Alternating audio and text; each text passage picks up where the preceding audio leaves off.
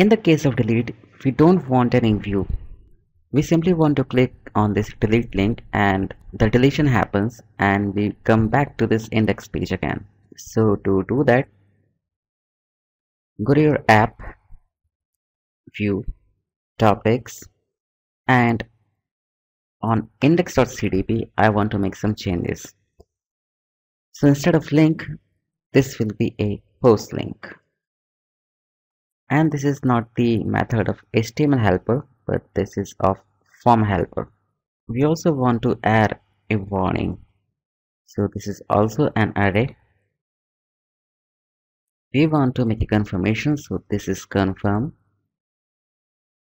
And we ask, are you sure you want to delete this topic. Save that. And now go to controller. Topics controller. And create a function for deletion. Public function delete. This will also receive an id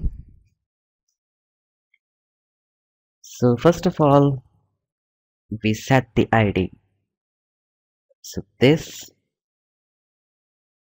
our model topic and its id which is equal to id and the deletion is pretty much same as the edit in terms of code.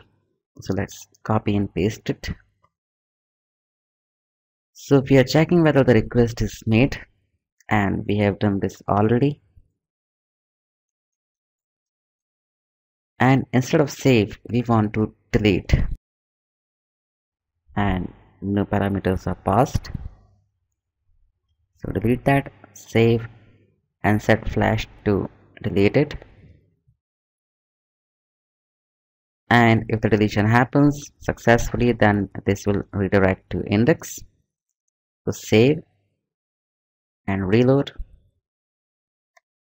And try to delete something so click on delete. So this is javascript and it says are you sure you want to delete this topic? Okay. I made some typo here. That's delete. Save. Go back. Reload. And try delete now. Okay. And you can see the flash message. The topic has been deleted and the topic has gone now so we have seen all the methods for creating reading updating and deleting in CakePHP it's time now to work on some associations and then we will work on user authentication. So it's time now to work on posts and their association with the topics